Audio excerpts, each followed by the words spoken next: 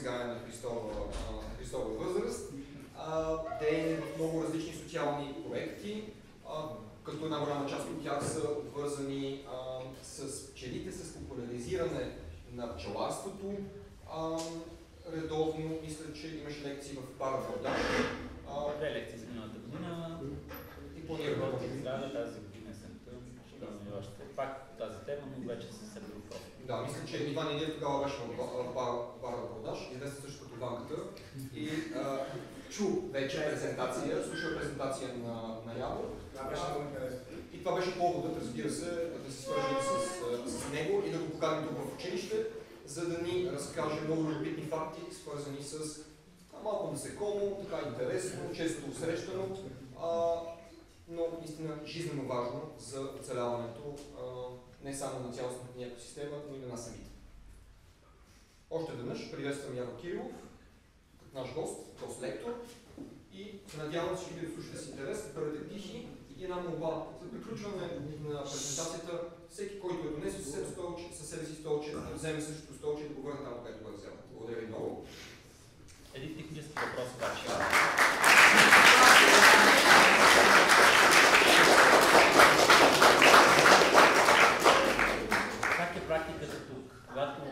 Въпрос, да изчакат накрая? Накрая, да. Добре. Имаме предвидено време около 10 на минути за дискусия след края на презентацията. Замислете се, ако имате някакъв въпрос, замислете се, ако имате някакъв а, конкретен въпрос, който спонтанно може да ви хрумне по време на самата презентация, разбира се, свързан с темата, а, и може да го зададете след това в края на самата презентация.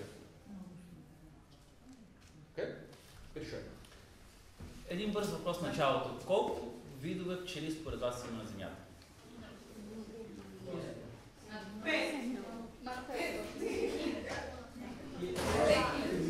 Към момента са открити около 23 000 вида пчели. Това е повече, отколкото всичките риби, птици, взети заедно.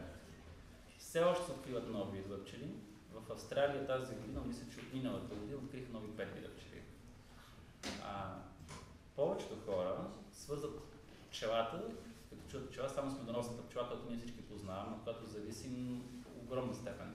Но освен тях има още много, много, много други видове пчели. Много те вече са изчезнали, вероятно. Скоро намериха най-голямата пчела, позната на човечеството, голямата черна пчела, така наречена, имаше си латинско име, което не помня, тя е нещо подобно.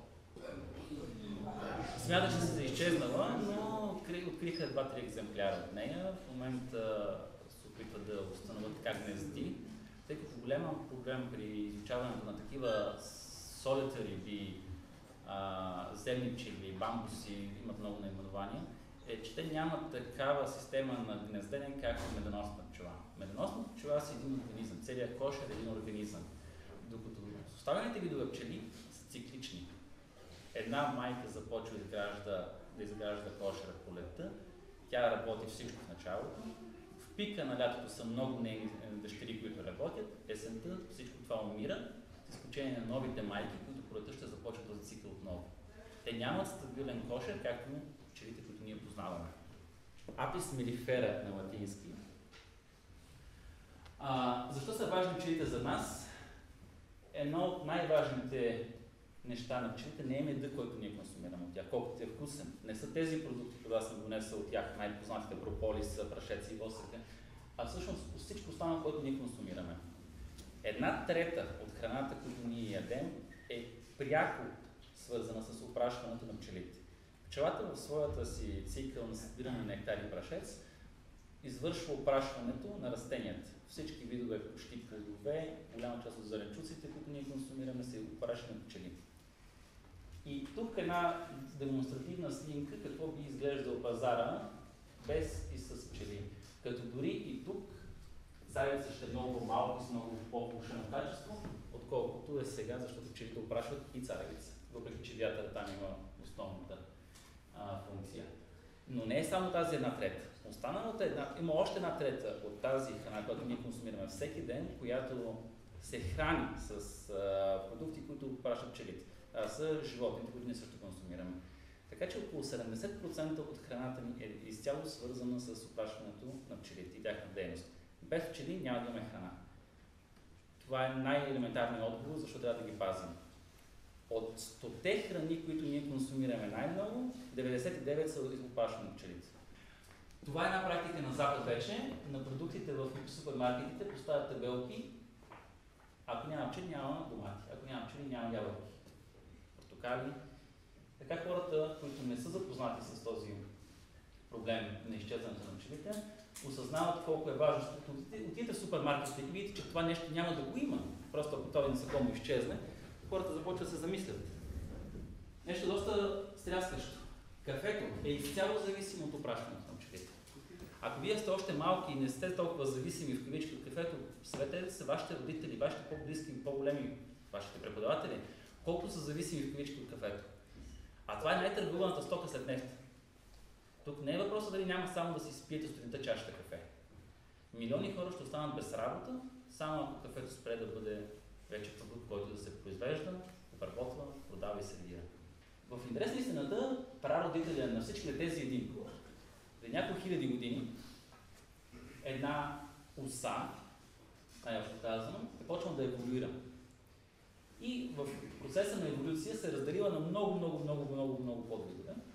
И ден днешен ние познаваме Апис mellifera. Това е медоносна пчела, която ние от нея зависим. Тук хубаво са добавили на снимката, това е прашецът, който те се събират. Голеновия прашец, който аз съм донесъл, после ще го видите и него. Това е тяхната, една от техните храни. Медоносната пчела е пак има три вида, на следващите слайдове ще видите, но най-общо взето, нейните най-големи врагове не защото те воюват само, а ние ги бъркаме, е стършелът и осата. Много хора не правят голяма разлика. А, вложили ме оса, вложили ме пчела, всъщност вложили може да е нещо съвсем друго. И наред с осите и стържите, умиват и пчели. Ставали сме свидетели не малко пъти, дори в София, в някой дърво в парк, живеят пчелички 30 години, дойдат нови наематели и забетонират дупката в дървото, напръска с някой препарат и убият 40-50 хиляди малки пчелички. Това са тези наречените бамбуси, за които ви споменах по-рано. Това са земни пчели, бамбус, solitary bees. Те живеят по различен стадии, който обясних, ще ви покажа някои снимки на тях. Специфичното при тези видове други пчели е, че те еволюират само към определен вид растение. Някои от тях до такава степен са свързани с едно растение, че се хранят само с едно растение. Има растение, има пчела. Няма растение, няма пчела. И обратното. Ако пчелата изчезне, няма кой да опрашва това растение. А, дори има в природа и такива аномалии. Стършилът е най-неприятният от тези тук, които виждаме, защото той живи многократно, отровата му е много силна, не се страхува от хора, напада хора, напада и пчели. А, като най-опасният от техните видове, мисля, че имам един по-късни слайдове, е японския, който е много-много голям, нещо подобно. А, болката е наистина жестока, когато живи може да човек да загуби парче от тъканта си. Слава Богу, в Европа ние имаме предимно този вид, но заради така хубавата смесица на видове между видове, вече има японски стърши в България. И започнаха да ги засичат в Русенско, Шуменско.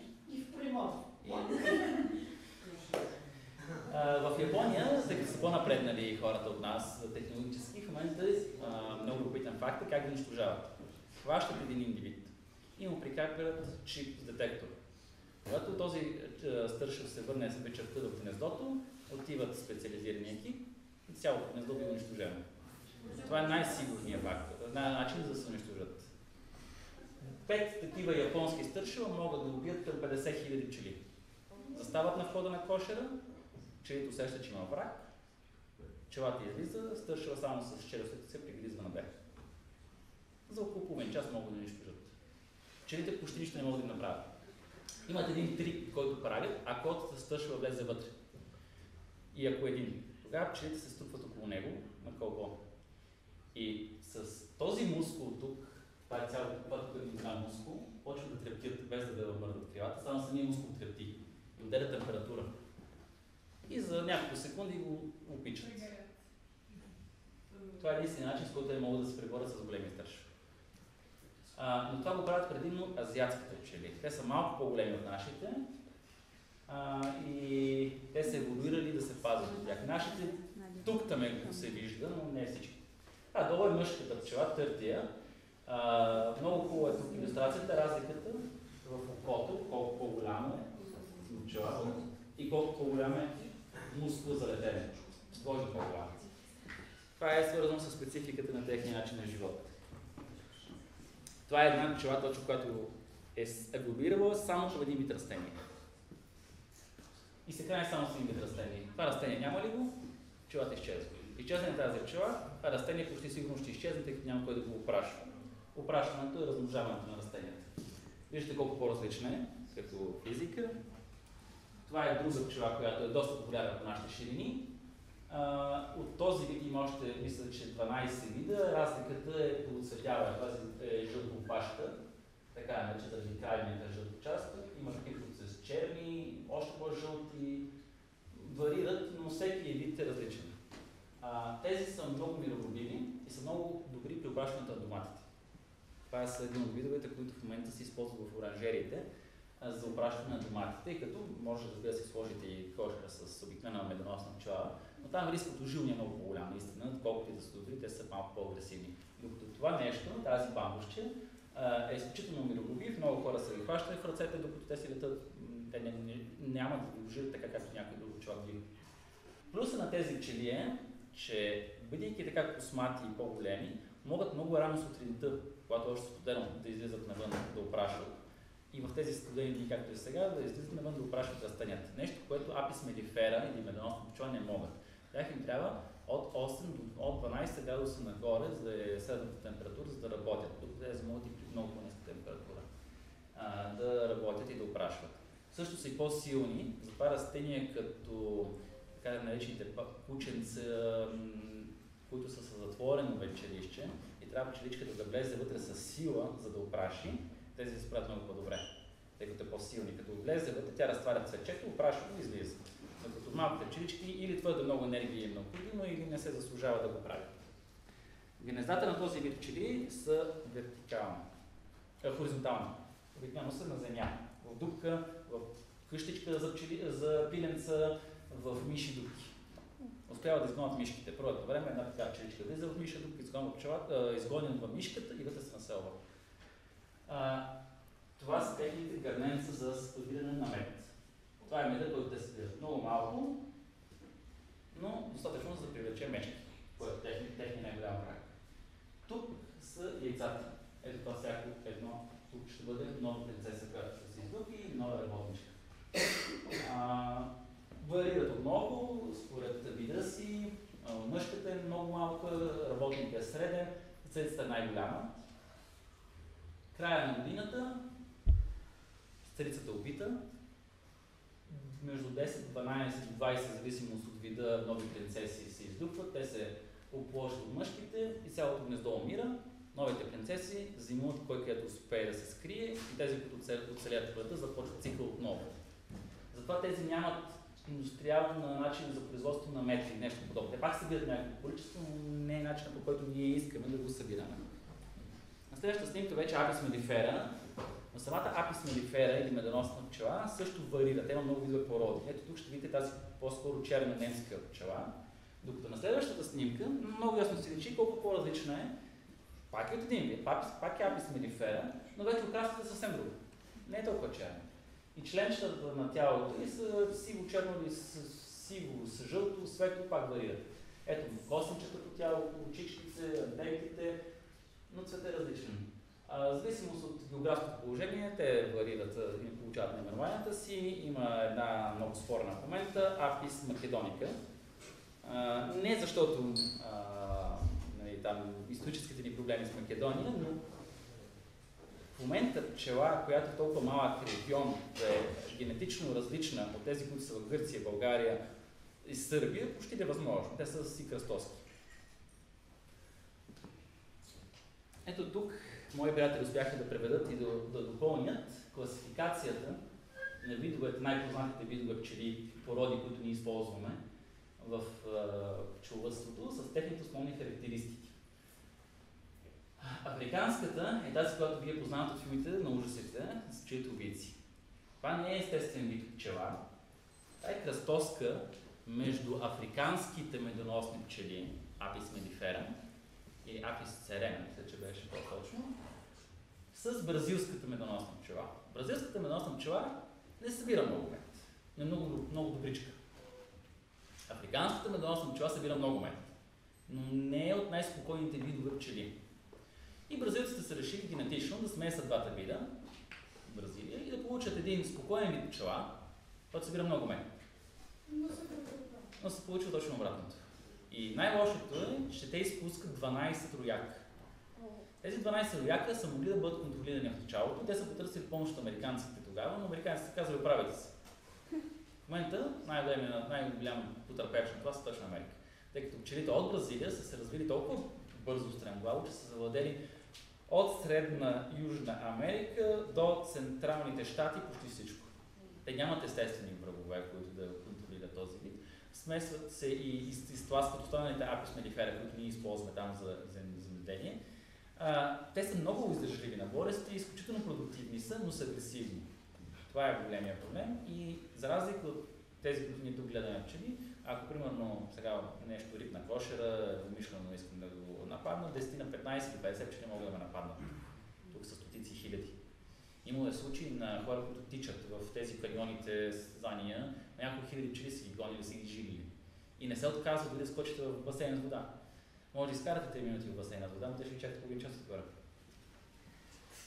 Бътфаст също не е естествен вид порода. Бътфаст е създадена доста скоро от Монако. Това е най-успешният хибрид, който ние имаме до момента. Ето виждате, спокойност, върхопитите 10. Това е най-спокойната, заедно с кавказската пчела, която ние може да работим. Дигаме питата, работим с нея, абсолютно спокойствие. А, проблемът на тази бъкфаст е, че трябва през, през 3-4 години да си купуват отново майки. Там не може да си възпроизвеждате майка сами от същата порода тъй като това е а, порода, която се получи от кръстосването на пет различни породи.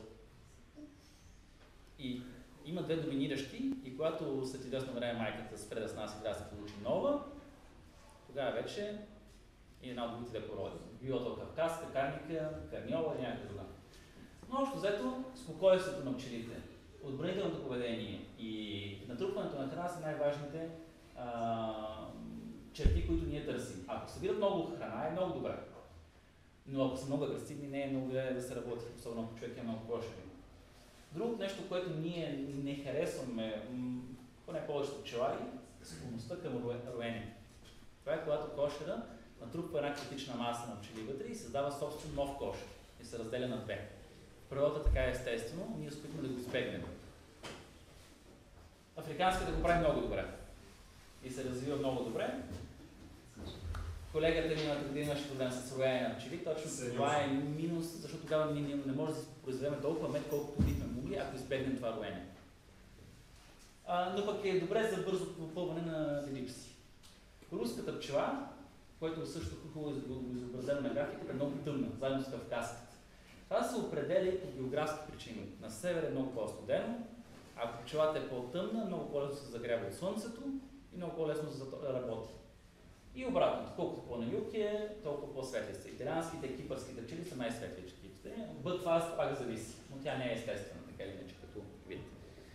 А, сега на този слайд са точно трите вида пчели, които са медоносни пчели. Само това са видовете медоносни пчели. Серена, мелифера и доростера. Дороста е азиатската, тя е най-голямата. може би сте виждали повечето от вас. на скалини на дървета, едни големи пити от воска, които са надолу и хора, които се качват с стуби, въжета, кокили и какво ли още не, за да взимат този мед. Това са азиатските пчели. Доста спокойни са като вид, но много боли жилото, защото са много по-големи и отровата им доста концентрирана. Апис нелифера е европейската медоносна пчела, най-общо казано. Серена е някой слага само в Близки изток, не е само Близки изток, защото и част от Северна Африка е, има, има и места в Европа вече се среща. Тя е една идея по-маничка. тя е еволюирала да живее на много горещи и неблагоприятни места. Представете си Саудитска Арабия, Обединените арабски емирства, въобще арабския полуостров, горещо, скали, температурата е 40-50 градуса на сянка. Те живеят под камъни. Те не живеят както е в дървени постройки, под камъни, в дубки намират скали и там, там изграждат своите пити. И за разлика от нашите, които са доста а, вертикални, техните са ни кръглички, много особени. Съжалявам, че забравих да сложа в слайд с а, тези пити, но са наистина много, много интересни. В момента най-скъпият от тях. Тук една лека съпоставка, за да видите колко различни са а, работничката, царицата и търтия мъжката пчела. Някои малко така се сърда, че го наричат търтей, а, но дрон е английската дума, ако повече ви харесва.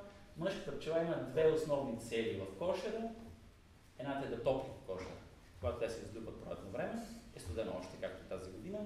Те отделят много температура с големия си гръден мускул, бъдейки в кошера, когато стане студено, хапат повече мед, почват да трептат с този мускул и затоплят кошера много по-ефективно, колкото пчелата работничка. Другото, което те имат за задача, и това е задачата на живота им, да пренесат генетичния материал, т.е. да оплодат някаква млада царица. Царицата. Тя общо взето командва в кошера, но и затворник на кошера. Тя е една единствена, Пчелите работнички са зависимо от системата кошери и сезона от 20 до 80 хиляди. Търдите от 10 пролетта до към 2000 лятото. Есента, тези, които са оцелели, биват убити от кошерите и изхвърлят. Те нямат нужда от тях за зимата. Остават не повече от десетина пчели, десетина търтия в кошера. Майката снася яйца и контролира с феромоните си, които тя отделя, целият кошер. Общо зато комуникацията в кошера е с аромати. Има вече изолирани около 30 вида различни феромони. Примерно ларвата, която ще видите след малко, казва гладна съм с определен феромон. И пчелата работничка и дава храна. Царицата казва гладна съм с друг феромон и на нея също и дава храна. Феромон, когато някой нападне кошера за заплаха, също означава атака над кошерите. Има дори пчели, които скоро ги изолираха, особено в лошо време, застават пред кошера и пръскат феромон във въздуха, който да насочва пчелите, които може да са загубили в лошо време, обратно към кошера. Има огромен коктейл от феромони, които още не сме разбрали въобще каква служат в кошера, но са много, много, много. А, една от причините да използваме пошилката, най-любимия ми, ми играч по дете, е точно за да замаскираме феромоните в кошера. Когато отиваме да работим в кошера, първото нещо, което един пчелар прави, е да пусне някакво малко количество дим на входа на кошера. Така феромона за заплаха се замаскира. Те по-трудно комуникират вътре в кошера, да има този дим. Така се улеснява работа на пчелария, по-малко има жертви пчелите, разбира се, защото една пчела, когато го живи, тя умира. Живото е като харпун. Забива се в кожата на човек или на бозайник и излиза заедно с част от коремчета им. Тя се жертва, за да спаси целият колона. Ние искаме да избегнем това. Майката в пиковия си период снася по 2500-2800 яйца на денонощие. Повече, колкото теглото им.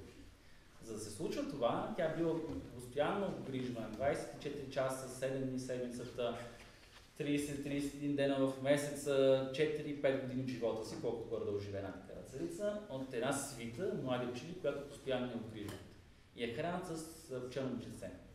Това е единствената пчела в кошера, която от яйце до смъртта си се храни само с пчелно мъчице. Останалите се хранят с мед, кашичка от мед, прашец вода. Но пчеларството е нещо много, много, много древно. Едни от най-старите също има по-старо от това, но това е само 6000 години. Едно от най-старите доказателства, че хората имаме слабост към меда е в едни испански пещери, които преди около 12 000 години според някои, според някои малко повече, има изображение на две жени, които голи отиват към едно дърво и, гора, и събират пчели. Мед. А, но това е било в периода, който ние сме събирали само пчелите. Знае със сигурност, че египтяните са отглеждали пчели. Има огромни доказателства, че голяма част от тяхното ежедневие било свързано с продуктите на пчелите. Дори в мумиите, една от веществата, които се използват за мумифицирането е прополиса. Меда, прополиса са много силни. Може да го пуснеш даже между другото, ако говоря да го помирисват хората. А, прополиса е една смола, която те събират от дървета, пъпки, цветя а, и обогатяват със своите собствени а, свои, свои собствени ензими. Това нещо е един от перфектните думичката ми избяга. Не само дезинфектатор, който е мумификатори. Когато влезе мишчица в кошера, това не е добре за пчеличките, защото тя хапва воса, хапва медец, хапва пчелички и хапва пило. Ако е топло, пчелите много бързо се справят с нея, 4-5 оживания и пчеличката отива в небесното рай. Мишкичицата. Тогава става друг проблем. Те не могат да изнесат. Но за да избегнат гниенето в кошера, и облепват с прополис. Аз съм намирал такава мишка, тя беше просто гния изсъхнала хербария. Никакво гниене не се получава, когато има прополис по трупа. А, когато умрял Александър Велики, историята разказва, че от Вавилон до Гърция е пренесен в съндък с мед. Меда също има антибактериални свойства и запазва гниене. Но да се върнем на отглеждането. Отглеждането, което ние до момента знаем, е свършено в Египет и пчелата е много пряко свързана и с властта на фараона. Защото легендата, която битува в египетската митология за происхода на пчелите е следната. Бог Ра създал хората, но когато хората станали лоши, почнали да своите дела да огорчават върховното божество на Египет, той се плакал. Но като всеки един бог, неговите сълзи не са нещо обикновено и тези сълзи се превърнали в пчели. Затова пчелата е пряко свързана с Слънцето, Бога Слънце. И затова пък фараона, който е божество, използва своите картюши и пчелата. Обикновено при разчитането на всякакви иероглифи, ако пчела присъства, или се говори за фараон, или за земеделието се свързва пчели, пчеларство. И има я на много места, е в Карнак в момента тази иероглиф и следващия, който ще ви покажа също е в Карнак, това е на покрива. Следващата снимка се вижда по-добре. Това е на покрива на, на един от храмовете, където понеже от долната страна на камъка се запазил сравнително добре. А, попитах а, човек, който ми направи, направи тези снимки, каза, че почти не е реставрирано, горе-долу се е запазил. Е, това са гигантските хлои, на който присъства този картюш. Пчеларството в България също е много старо. Ние знаем още траките, че сте гледали пчели, но за по-ново време, тук е една много хубава снимка, това са български пчелари, 30-те години, а, с една много хубава система кошер, която почти не се е променила до ден днешен. Интересното на тази снимка е, че в средата е цар Борис. А, след като се разкача на българския на трон, в първите години той няма почти никаква власт заради конъюнктурата тогава, но той обикаля и помага както може. И тук е на среща с пчелари от един регион. Още тогава, много добре са се ориентирали хората, това не е ограда за да запази пчелите от кражби. Това е ограда за да запази пчелите от мечките. Както и сега, тогава, както и тогава, сега най-големия враг на пчелите всъщност са мечките. На второ, естествено. Мечопух. Но след мечопух, ние имаме в момента голям проблем с белките. Белките също обичат да си хапват неща от кошера. А, освен белките, в последно време и синигията станаха проблем, но не за друго, защото хората се изхитриха, решиха, че няма да правят твърди кошери от дърво, а от стиропор. Ами, стиропор е толкова лесно за пробиване от едно синигерче, че за една зима горе-долу изчезват. Много. Ето отново пак класификацията, трите вида основни пчели. Тук е извадено жилото заедно с а, част от вътрешността. Още, че малко е светло, не се вижда толкова добре, но по-важно яйцето. Когато го снесе майката, той яйце около ден-два. До третия ден се излюбва в една малка ларичка. Тази малка ларичка още втория си ден започва да бъде поставена около нея малко пчелно мъчице. До третия ден от своята храна тя се храни с пчелно мъчице. След третия ден започва да се храна с кашичка от мед, пчелен прашец и вода. Нараства тази голяма ларва. И когато тази ларва вече е готова, напълва с още малко храна и се запечатва. Когато се запечатва по този начин с восъчно капаче, тя вътре започва да се развива вече от гъсеница ларва в пулпа и от пулпа в пчела работничка. С две изключения. Когато това яйце е оплодено, се получава пчела работничка. Когато това яйце не е оплодено, се получава търпи, мъжката пчела. Царицата сама решава кога да внесе оплодено и неоплодено яйце. Има го тази възможност в тялото в организма, има едно мехурче, която се съдържа сперматозоидите, които тя е получила от търдите. И с годините тя може да ги използва по 5 години без никакъв проблем. Когато обаче тази ларва, оплодена, се храни само с пчелно мъчице и след третия ден, тя претърпява пълна метаморфоза и не се получава пчела работничка, а се получава млада принцеса. Нараства и в така наречения маточник, тъй като киликата е много по-голяма, ще се издупи млада принцеса. Тази млада принцеса, ако една единствена, ще излети след няколко дни, ще се оплоди с няколко търти, ще се върне и ще живее в кошера. Ако обаче има още няколко, тук е малко кървави игра на тронове а, сценарии, първата излюбила се, убива всички останали се принцеси. Кошера може да има само една царица.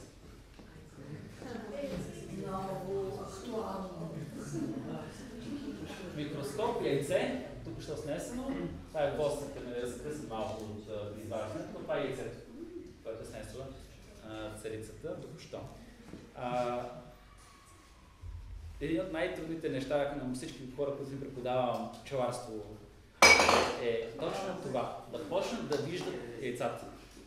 Защото в питите, ако човек не застане под определен ъгъл на спрямо светлината или има някакви проблеми, много трудно ги вижда в началото яйчетата. А това е много важно, за да може човек да следи пчелария, здравето и развитието на кошера. На мен това би било винаги най-трудно, за да им го, да им го показвам. Една от най-важните органи на пчелата е нейното хоботче. В еволюционните години, за да може да достига нектара на цветовете, той се е удължил многократно в момента е най-дългото орган спрямо а, хоста, спрямо организма, който го има. Мисля, че само жираф имаше по-дълъг спрямо организма. От това нещо тя изсмуква нектара. Този, който ще го използва за мед, го съдържа в тялото си в едно органче, който се напълва с нектар. Но нектара не се превръща автоматично в мед. Още когато тя го изсмуква в това орган, че този нектар от растенията се обогатява с ензим, който започва да преработва нектар от растенията, така, защото да напуска влагата от него, като нектара на растенията съдържа много вода. От 3 литра нектар се, се произвежда 1 км. А една пчела не може да донесе повече от една лъжица нектар в живота си. Една пчела работничка живее около 30 дена. Представете колко много труд е необходимо за да се произведе ето това бурканче с мед. 3 литра нектар са донесли. Полетите, всеки е, има там различни изчисления, колко пъти от Земята до Луната е излетяла, е стигнала, колко милиона цветя е събрала. Не може да има точни е, данни, защото ако меда е съвсем близо медоносната растителност по кошера, следното е много по-лесно. Оптималното за пчелария от кошера в радиус 3 км да летят. Това е най-доброто. 5 км също е възможно, но колкото по-далече става вече пашата на пчелите, толкова по-вече изразходват енергия, за да доставят въпросната храна до кошера. 3 км радиус, 6 км диаметър. Това е перфектното за един кошер, ако има храна. Тук обаче се вижда много на свет на слънцето, голямото сложно око на пчелата. Тя има две големи сложни очи.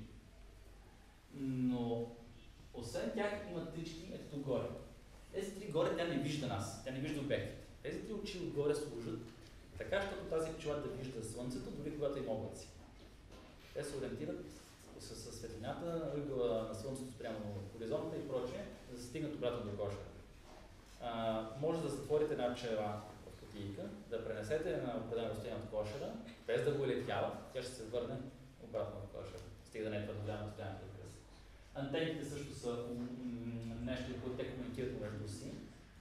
Все още не знаем точно как са феромоните, но това са начините за комуникация. Тук малко така обяснение на пчелата, от основните органи, три характера от тази страна, шест характера. Съответно, антенките, очите, крилата са много хитро преработени, те са четири крила, две по две.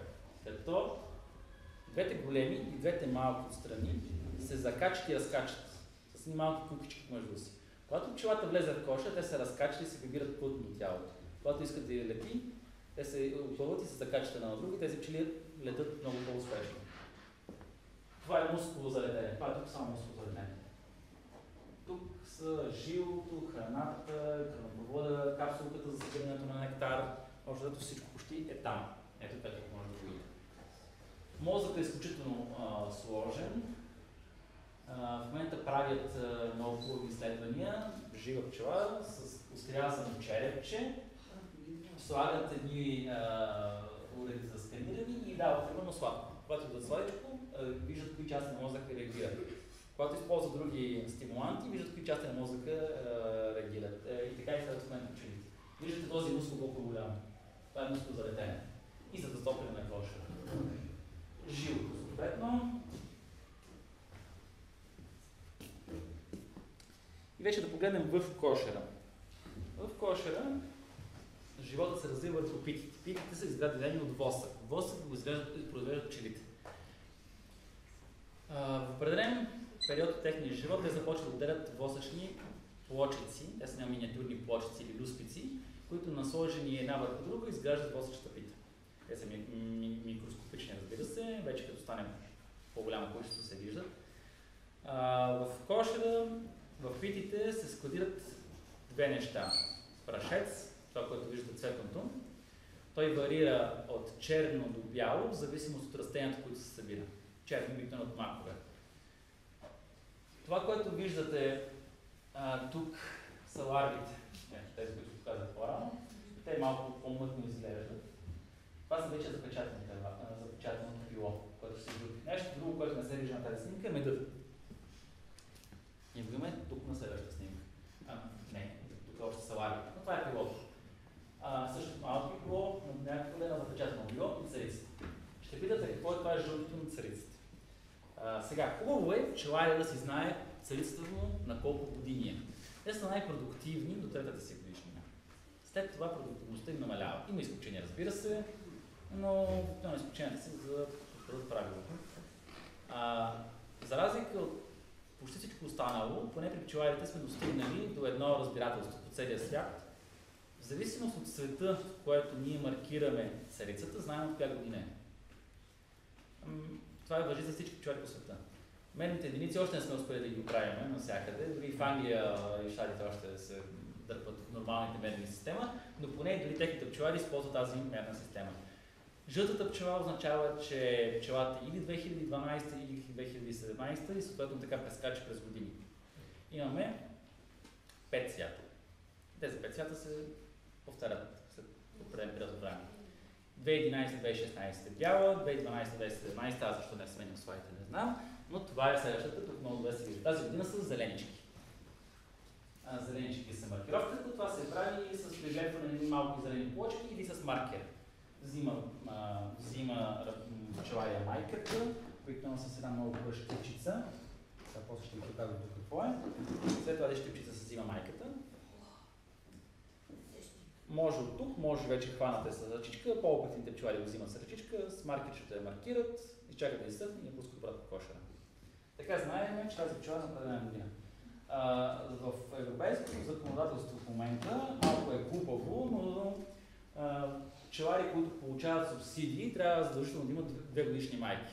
И трябва на всеки две години да отново да ги сменят. Според пчеларите е наистина глупо, защото те трета година понякога са още по-продуктивни. С бюрокрацията на правителството, човек се бори. Ето тук много ларвички, които буквално плуват в кашичка от хмет и прашец. Това е тяхната храна. И те, докато се хранят, се въртат в кръгче. И папка, папка, папка и расте. Това е основното действие, който е гладно, пуска феромон. Ето една царица, вътре между нейните дъщери. В кошера всичките пчели са дъщери на една царица. Те не, не, не, не нейния генетичен материал на 50% и 50% на търтия.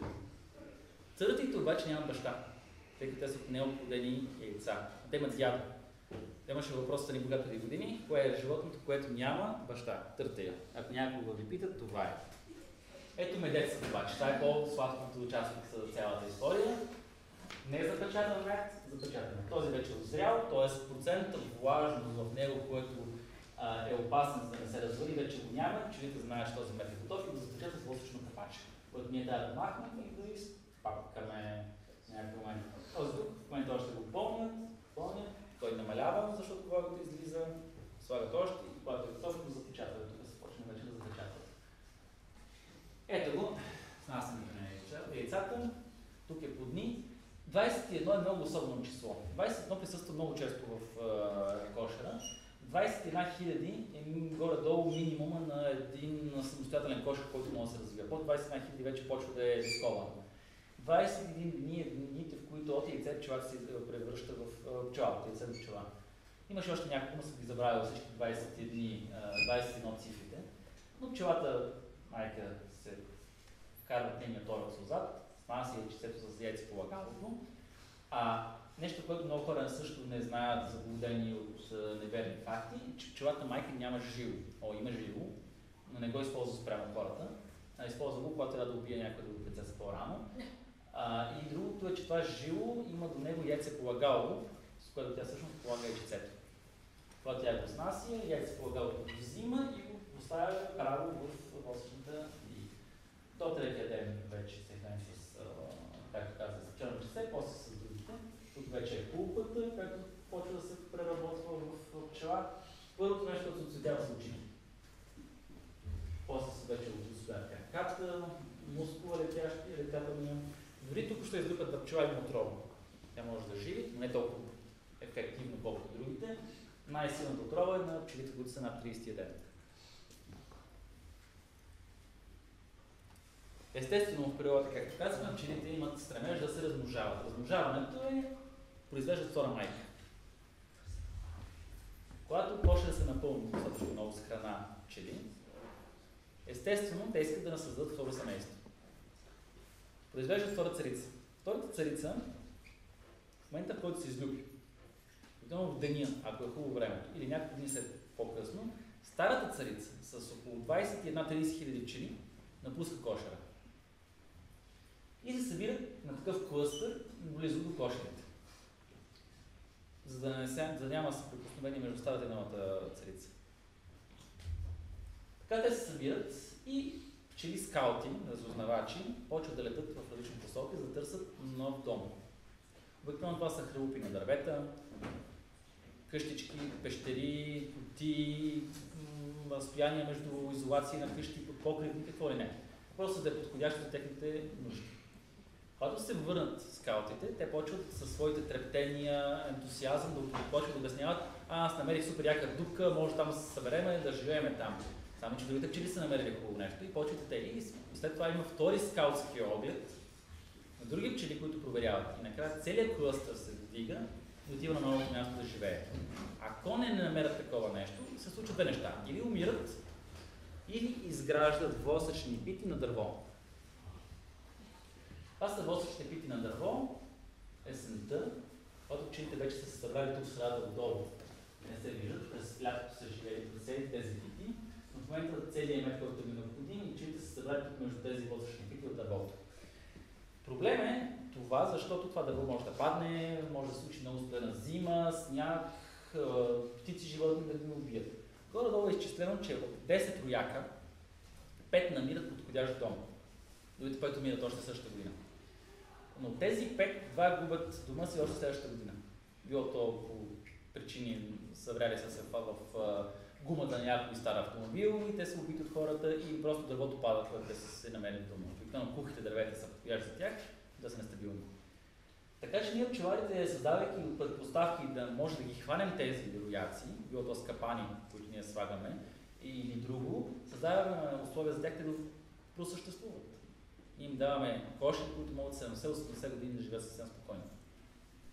А, те при тези почти не.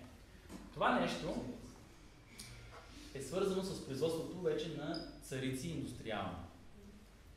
Както казах по-рано, цариците, майките в кошера, имат една своя продуктивност, която се изчерпва. За да се регулира това или да селектираме определени породи, ние сме се научили как да произвеждаме царици индустриално. Това се прави като в една восъчна чашка, която вече не се вижда тук, но тук съм понесъл нещо подобно. Ето в това нещо зеленичкото отдолу се потапя в восък за секунда то става восъчно. Взимаме яйцето, яйчице, защото сме на яйчице, с една малка шпателка се мушка вътре, се взима яйчице. Това яйчице се слага тук в основата. И го поставяме ето така в кошера по, по стотина. Такива се слага в един кошер, който няма майка. Предварително сме махнали майка на кошер. Те започват да отглеждат всичките тези ларви за бъдещи принцеси. Царици. Че принцеси тогава, когато още не са се оплодили. Когато вече е готов ларвата, е изцяло изграден маточник от чашата надолу и запечатан. В този момент пчелария взима това нещо, поставя го в тази клетка и го пренася в кошерче малко, в което няма пчела майка, но само едно. Тя се издупва вътре, пак махам това, тя се издупва вътре, след няколко дни се излита, опложда се и започва да снася в кошера яйчица. В този момент аз отново я хващам, слагаме в тази кутийка вече или в някаква друга кутийка, от типа, които ние носим в момента, с пчели. Спокойно. Слагаме пчелата, оплодената в такава кутийка, заедно с малко от нейната свита, слагаме малко храна и запечатваме. Тази майка е маркирана с зелен цвят пчел тази година. И сега по този начин ние можем да предадем на кошер без майка или да създадем изцяло нов кошер пчели. Ето тук са събрани десетина пчели работнички, свитата и една пчела работничка. Когато ние искаме да създаме новия кошер, слагаме това нещо в кошера. Махаме пластмасовите ограничители отстрани и времето, което е необходимо на пчелите да издадат меда и феромона, който тя отделя от кошера, тя почва да приема като собствена майка, заради феромоните, които тя отделя през тези пчици. Това е изключително важно, защото ако те няма приема за своя майка, ще ще го убият. И ще се опитват да си отдадат своя собствена, да се отгледат. Но, за съжаление, пчелите имат доста врагове в последно време и обикновено тези врагове се олицетворяват в Homo sapiens. Homo sapiens, или общо казвам човека, особено човек, който иска да изкара лесни пари с земеделие, използва неоникотинидни пестициди, инсектициди и общото отрови, с които се пръскат посевите, за уж по-добри по-добиви. Проблемът е тогава, когато фирмата производител на въпросния препарат излъже, че този препарат не е вреден за пчелите. Наистина, когато се напръска с а, такъв препарат самата пчела, тя не умира веднага. Не е такъв вид действие на тази отрова.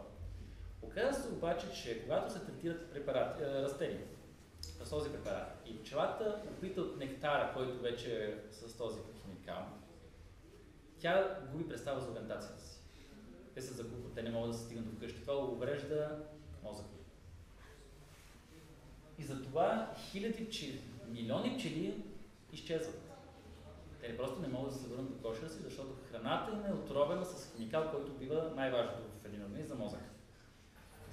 Но не е само до пръскането. Този химикал се откри, че могат да се третират семената на растенията. Те третират семената на растенията и когато това растение израсне, се засяга не само нектара, но се засяга и полена. Ето това нещо, което трябва да е много чисто. Това е прашец на растенията. Вече е увредено, защото самия генетичен материал на растението увреден. Тогава и ларвите на кошера умират. С пръскането убиваме възрастните, с отровата в средата, с прашеца убиваме и ларвите. Кошерите изчезват. Има и другите видове химикали, тези, които директно убиват пчелата. последните дни в България, особено в северна и източна България, стотици кошери бяха убити за дни заради нерегламентирано пръскане. Сега, вярно е, че част от тези пръскания са необходими. Но има законови разпоредби, които казват, пръсканията се случват вечерно време след 6 часа. При това три дена предварително всеки арендатор трябва да предупреди пчеларите в региона и кметовете за тези пръскания. Когато това се случи, пчелария може да вземе превентивни мерки. Защото ние затваряме входовете на кошерите вечерта. На другия ден те не излизат навън. Случва се пръскането. За един ден в кошер нищо няма да остане на пчелите. Но ще си избегне това. Днеска се пръска, всички пчели, които си излезе навън, или 90% от тях умират. Това няма да убие кошера веднага. След три дена другия арендатор пръска отново. И другите пчели умират. И кошера вече няма пчели, които да работят и той сам по себе си умира. А, освен голяма смъртност за тези пчели, това е и много лошо за хората. Представете си семейството инвестирало 100 кошера, имат, нямат възможност за друг доход. Изведнъж целият доход приключва. Те нямат възможност да се издържат. А, с унищожаването на тези пчели ние някакси ще се справим. Ние отглеждаме много тези пчели. Ще попълним загубите. Но освен тях се убиват тези пчели, за които по-рано ви казах. Всички земни пчели, солите ли, те умират и никой не ги възпроизвежда тях. В Штатите всяка година се внасят два Боинга с пчели от Австралия. Огромно количество. И това ще продължава до момента, в който не се усетят, че само с пръскания не е регламентиран, няма да се получи. В България имаме още един проблем. купуват се забранени продукти от Турция или други страни извън Европейския съюз и се внасят тук незаконно и се пръска с тях. Което не е само отрова за очите, отрова и за нас в крайна сметка. И се получава това. Разбира се, учените си имат собствени врагове. Това са паразити. Всеки организъм в природата си има свои собствени врагове, но когато организмът е здрав, той се справя с тях. Когато се натрупат фактори, отрова, експлоатация, претопляне, комбинация от тези всичките фактори, тогава организма отпада и рухва в един момент. А, това е един от вирусите, който напада кошерите. Това е, ще ти кажа директно, разстройството. Пчелата никога не ходи от туалета навътре в кошера. Тя излита навън, свършва си работа се връща. Когато обаче хване тази болест, този паразит, това не се случва. Те не успяват, особено когато е студено. Тогава започва едно масово завземане в кошера и 100% в смъртност в кошера. Тази година мои приятели имаха този случай. Един от кошерите беше цяло умрял точно преди това. Всички пчели бяха омазани с техните фекалии, които за разлика от всички останали животни не миришат лошо. Понеже са това. Прашец, мед и прочее. Тази гдинка, която виждате в момента, е един от най-големите врагове на пчелите след хората. Това е кърлеш вароа деструктор. Оригиналното от, от Азия. По азиатските пчели, тези големичките. Но понеже те имат досег с него, както съществува, те са си свикнали с тях, не им прави големи проблеми. Знаем как да се борят с него. Съвсем скоро той дойде в Европа, Северна Америка, Южна Америка и част от Африка. Единствено Австралия все още е континента, в който този кърлиш не, не съществува. Имат драконови мерки за сигурност, тройна система за защита, но със сигурно, че рано или късно този кърлиш и в Австралия ще бъде, ще отиде. А, той е най-големия кърлиш спрямо жертвата си в животинския свят. После ще видите на следващия слайд колко голяма е. Това е възрастна женска, която, освен че смука лимфата на пчелите, когато е готова, тя влиза в килийката, където ще се развие пчелата. И ви търпи. Снася 10 яйца обикновено. 9 от които ще са женски. Един мъжки те се заоположат още вътре. И се получават 9 нови женски такива, които само с няколко дни са готови отново да повторят този сценарий. Това се повтаря много, много, много кратно и убива пчели. А не само, че убива пчели, убива ларвите. Ето това са две ларви, но на търти, тъй като те ги предпочитат тях повече, тъй като търти се развива малко по с 24 дена, не с 20 дни, а с 24 дни. И се храни много повече. Те се прикрепят към ларвите и пухите и смукат лимф. Така се получават или директно умрели ларви, или излупени търти без крила, без очи, без крака, които умират с някакви дни. Опаразитяването понякога е в фрапантни размери. Тук с светлината не се вижда много добре, но тук имаме един кърлеж. Втори кърлеж на окото. Кърлеж, кърлеж, кърлеж, кърлеж, кърлеж. Кърлеж и на още. Това е само върху един търтит. Лекарства, които сме използвали само преди 10 години тези кърлежи, вече не функционират. Те са развили пълна резистентност към лекарствата, които ги убиваха преди 10 години. А, има, слава Богу, биологични средства за борба и механични. Механичният е много хитър, според някой жесток, но много хитър. Слага се една празна рамка в кошера. Аз съжалявам, че не взех рамки. Сетих се, но това е късно, но в рамката на кошера, ще покажа следващата снимка. В тези рамки изграждат восъчни килийки. Тези восъчни килийки обаче са малко по-големи в този сезон и там царицата снася само търтво пило. Кържите са много щастливи, храна на воля, отиват там, разпространяват се в цялата пита си кържа, с търтвото пило.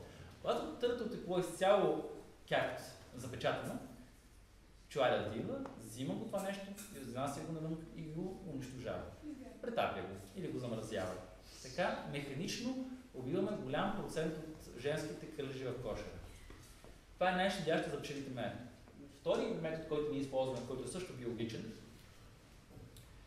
а, физичен, е слагането на дъно, което не е от дъски, а от мрежа. Което е доста, доста ситна, но пак достатъчно на пчелите да не падат, но кръжите да изпадат. Пчелата успява от време на време да се отбутне някакъв кръж от тялото, той пада, но ако пада на дъно, който дъски, много пролазва нагоре. Новите системи кошери, които в момента влизат в масова употреба, са прежи. Кръжа пада долу, много трудно ще се качи обратно по краката на кошера, а той извън кошера убира много бързо. Имаме и биологични начини за борба, това са с етерични масла. Тъй като хоботчето на кърлежа е изключително чувствително, ето този смогателен механизъм, който е в средата, той се разгражда много лесно от силни аромати. А, от мащърката, този прекрасен чай, отделяме един етеричен, едно етерично масло, което, което го добавим концентрирано в кошера, мирише много приятно и разгражда поводчето на този паразит. Защото той мира от глад. Като много хубаво, не може да се развива повече. А, оксалова киселина. Оксаловата киселина е от а, червеното цвекло. Също биологичен продукт. Концентрирана оксалова киселина се пръска есента върху кошите, върху черичките и пак тази градинка умира. Лошото на оксаловата киселина, че е много силна и затова може да се използва веднъж максимум два пъти в годината на кошерите. Има, разбира се, и други методи, но това са така най-ефективните в момента, които се използват за борба с този вредител. Тук на тази снимка се вижда малкия кошерен бръмбър. Той в Европа почти не е познат. Той също е вредител в кошер, но не с тези размери, в които а, другите. Неговият проблем е ларвички, които изяждат много голяма част от кошера, от питите, но горе-долу борбата с него е доста лесна. И тук е азиатския кръж, за който, стършил, за който ви казах. И другите стършили успяват да нападат кошери, но каквото азиатския прави, друг няма. При гризлия само с едно движение. Но те ни ядат пчелите. Те отиват в кошера за ларвите. Унищожават пчелите, влизат вътре, взимат ларвите, с техните ларви те хранят своите собствени ларви. Тъй като ларвите на стършилите са настоядни. За разлика от ларвите на пчелите. Друг вредител по кошерите са прекрасните пчелояди. В България са още защитени. Мисля, че тази година трябва да ги извадят от черната книга, т.е. защитените видове, защото много се разпространиха. Те не са местен вид от това. Това са африкански, но ги има в България на три места вече. Около Шумен, около Хабарна, правих може би около Руса А, според между пчеларите колко са вредни, защото тези изяждат предимно търти и оси. Значи, всъщност помагат доста повече на пчеларите, колкото вредят. Те и лятото се дадат пчели, ама не в такава количество. А, вредител е молец, но това е малко по-особен молец, той е голям. Четворно по-голям от обикновения гардеробен молец, който ние познаваме. Това са бъдения. Хиляди, хиляди, хиляди хектари бедеми, които се отглеждат в Калифорния. Площта е, мисля, че малко по-голяма от Софийското поле, само с бъдени. Те не могат да се опрашат самостоятелно. трябва да бъдат опрашвани пчелите. Там обаче пчели няма место, които да живеят. Това е бивша пустиня, която е урбанизирана, заседени са бадеми, поливат се и това е 90% от производството на бадеми концентрирано там. 84%. За да може да се опрашат тези бадеми, пчеларите от щатите закарат своите пчели на това място. И в рамките на 3 седмици пчелата се храни само и единствено с нектар и прашец от бадеми. Как се чувства вашия организъм, ако 3 седмици се храните само с ябълки? Или с каквото и е. Когато монокултурно, от само от една храна постъпва в организма, този организъм отслабва. Същото и при пчелите. Това е един минус на монокултурното отглеждане. Огромни хектари, но те имат избор само от едно, от една храна, бадема. И в това е индустриалното пчеларство, индустриалното производство, защото след тези три седмици те ще видят само на три седмици на боровинки или само на череши. И каквото и да е. В Штатите така се отглеждат нещата. А, другия проблем на това голямо струпване на пчели, че всички пчелари в Америка ще си носят там пчелите и взаимно се отменят болести. Освен пренасенето и прочие, което също пречи. Отделно на това, тук се минава и се връзка през деня. Така че трябва да пазим пчеличките колкото можем повече. А, и има много начини за това. Едното от тях е всеки един от нас да посади едно, две, три цветенца, които могат да бъдат храна пчеличките. А, за съжаление, и последните години в Европа, вместо да се търсят местни растителни видове, ние в градините в паркове да съдиме безумие. Като райграсът един от тях. Няма нищо по-скучно и да изглежда като пустиня за пчелите, колкото една райграсова зелена градинка. Никаква храна за тях, никаква храна за никой. Нито дом. Затова аз препоръчвам и винаги съм призовавал всеки един от нас, защото колко хора живее в София, всеки един да посади по едно, винаги може да е помощ на пчеличките. И ме попитаха предния път, затова аз направих тези слайдове. Съвет. Три неща, които може да съдим просто в градинката. Така е разпределени за трите сезона. Първото е мизохар. Мизохарът изключително красиво, ароматно, пролетно цвете е едно от първите цъфящи неща, които ние виждаме пролет. Отделя много нектар, при това нектар, който има 30% захарност. Много висок процент захарност и много паршец. Чичките го обичат, местен вид. Второто нещо, вече лятото, лавандула.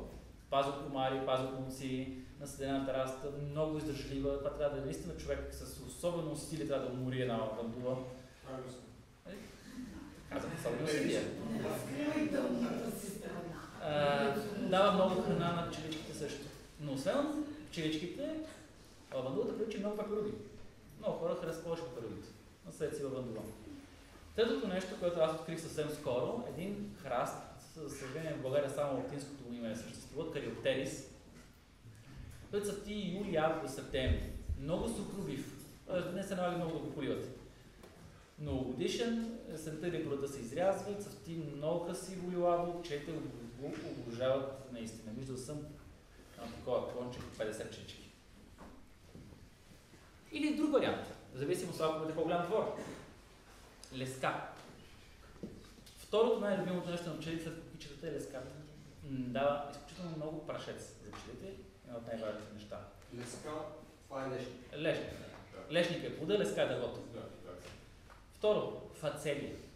Фацелията е най-медоносното трависто растение, познато в момента на хората, което освен всичко е от бобовите култури, които вкарват азот в почвата, т.е. дават мед на пчеличките и наторяват почвата. В биологичното стопанство, изглеждане на лозя и повошки в Италия и Франция се насява фацелия между лозите, тя наторява почвата и дава храна пчелите. Пак лятото цъфти, пролетта. И лофантата вече е чай, много хубав, той цъфти от лятото и есента. Без пестициди и хербициди, пазете ги, не ги използвайте. Восък, восък, восък. Много се ползва. В козметика, в медицина, в свещи, в какво е не. Изключително ползване и става все по-скъпо. Прополис, казах, лекарство. Прополис, защитник на града. Още от римско време, от гръцко време се ползва като антибиотик. Може да го среща също като името клей. Клей. Прашец, храна, хляб на пчелите. Може да се даде така. Читане протеин. Всеки, който иска да тренира, да спортува, не използвате химия, използвате това. И, храни, и много хубава храна. С малко кисело мляко, една ложичка на ден е прекрасна. А, челно мъчице, най-скъпото нещо от кошера. най-трудно се събира, най-малко, най-хранително. Нещо, което още сте малки, но това е много важно нещо, медовината. Най-старата алкохолна напитка, която човечеството познава е медовина. Вода и мед и те ферментират при определени условия. Така че пазете пчелите, няма нищо страшно в тях. Ние имаме някакви трикове, така защото да знаем, че пчелите не са опасни. Ето виждате, пчелята не е опасна, човек е много щастлив, усмихнат. Сега е ваш ред, давайте въпроси.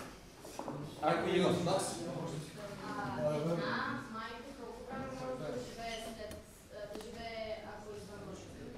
Тя извън кошера да не живее. Тя излита само веднъж живота си да се оплоди.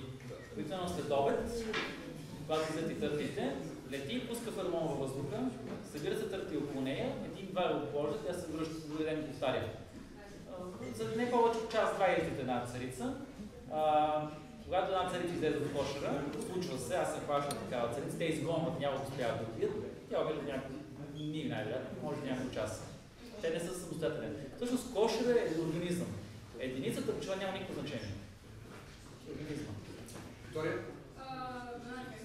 Но, в Америка проблема с а, пчелите не се опитват да се правят, например, разнообразие на растенията или а, имунизиране срещу болестите.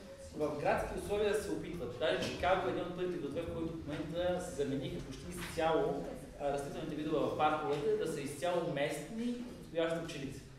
А, сега и други градове го правят. Но тяхното стопанство, индустриално стопанство е такова, че в момента не могат да изсекат хиляди бадеми, за да сложат нещо друго там. Американците, аз това ви го препоръчвам, още сте малки, но все пак не толкова малки. Гледайте филма More Than Honey. Повече от мед. В този филм има изключително добра съпоставка между европееца пчелар и американеца пчелар. Американеца, който чува пчеличките, а, това е, ще кажа европееца, европееца, който отива при някакви пчелички и вижда как се събират нектар от растенията и казва, нямам търпение да опитам меда, който ще произведат. Отивам в Штатите, точно в тези бадемови гори. И той казва, де си чува пчелите. Това е звукът на прясно печатаните пари. Те не мислят като капиталисти, те не искат да живеят за да за пчелите като хоби, да ги запазят. Те искат да произвеждат повече и повече и повече, да се разрастват. В филма е много добре направено. Без политическа много нотка, просто са поставка на пчеларите в Азия, в Европа, в Австралия и в Америка. Повече от мед. По-добър филм сега не е правен. Има други пчел- пчеларски филми, но този е уникален филм за, за тази програма. Ще го препратя като линк. Йоанна?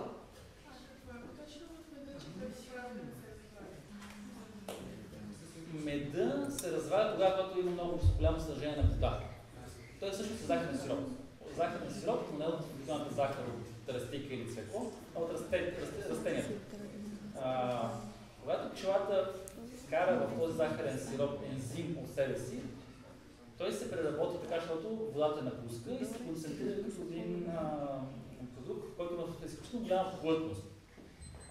Това скоро говори с един биолог, той каза, той не че толкова е силен антисептик, т.е. той не убива микробите, но има така огромна плътност сам по себе си, че микробите не могат да се размножават. А, може да се развали, когато се добави вода. Тогава или ще се получи оцет, а ако го направите добре, ме добира. Така че пак разваляната меда е в кавички. А, Разговори, покиснения мед става за консумация от хора, не е за пчели, може да им докара чу стомашно чревни проблеми. Един последен въпрос. Мия? Кой е най-добрият материал след дървото за правене на кожа?